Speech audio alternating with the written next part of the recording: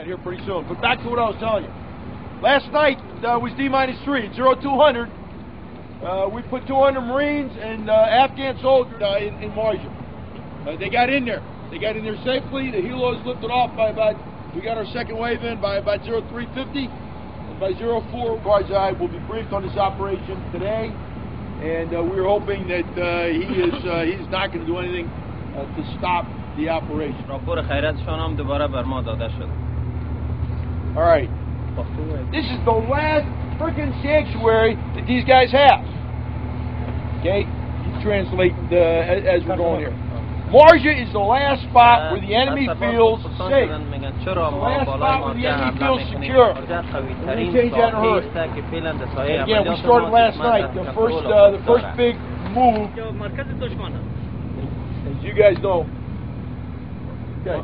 Go ahead. Marja is the center of the end. He's going to do this. nothing I can.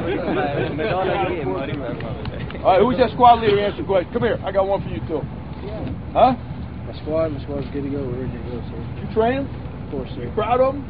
Yes, sir. They're ready? Ready, sir. What keeps you up? How many will stay and fight? We don't know. 25 opportunities to attract people out of Marja to really say, hey, come meet the Marines.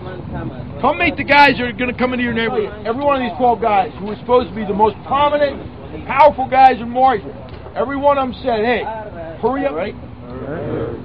Okay, we have a population that when they vote, when they decide they're going to support us there, good things happen. All up and down the Helmand River Valley today, things that are happening.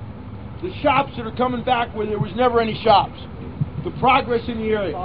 Okay, there's a drumbeat. There's a momentum that's irrefutable. You can't deny it. There are things occurring here that, that are that are good. There's a hell of a lot of goodness going on because guys.